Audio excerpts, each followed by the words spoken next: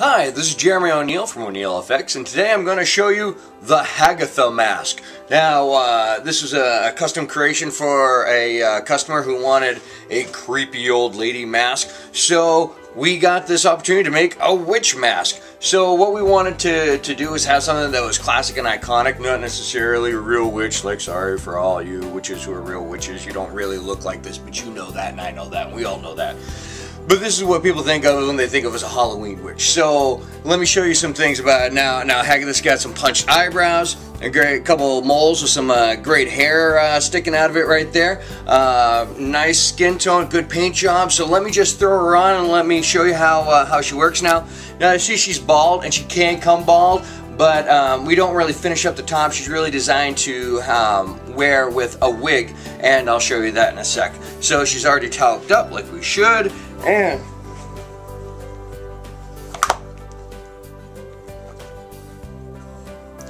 nice and easy on. You can see. Eyes fit good. Mouth moves well. It's moving as I move. Um, if you wanted to do a, a, creepy old lady, you could put earrings in the ears, uh, a little lipstick on the, the lips uh, to, to hide your own a little bit more. So let me go ahead and throw the wig on so that you can see it.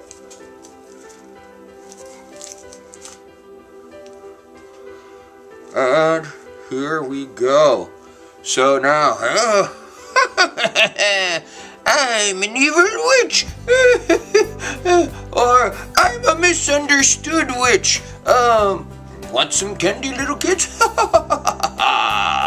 um, well, here you go. Now, the wig that you get will be attached. We're going to have a couple different options, so you can choose what you want. But this will be the standard Haggitha. witch. Uh, wig. Alright, so let me just pull off the wig. Like I said, that'll come attached unless you ask us not to. Um, you know, let me pull off the mask. Like all Oneail FX mask, uh, easy on, easy off. Uh, if you take care of it and follow the instructions that we include with uh, the, the mask, then it should last uh, quite a while. So, there you go. There's Haggitha. Hope you love her. Hope you buy a dozen of her because you know you can't just like I don't think you can be a coven by yourself and you need a bunch of people to be a coven. So you know we'll we'll have like some sort of coven deal if you'd like but you can't be from an actual coven. Not that I want to um, really. Anyways so uh, so there you go. Um, hopefully you can stalk us on Facebook at Oneail FX or find us on our website oneailfxstudios.com there you go. Hope you have a great day and give Haggitha some love, but not in the like creepy way, like ah no, just like mask love.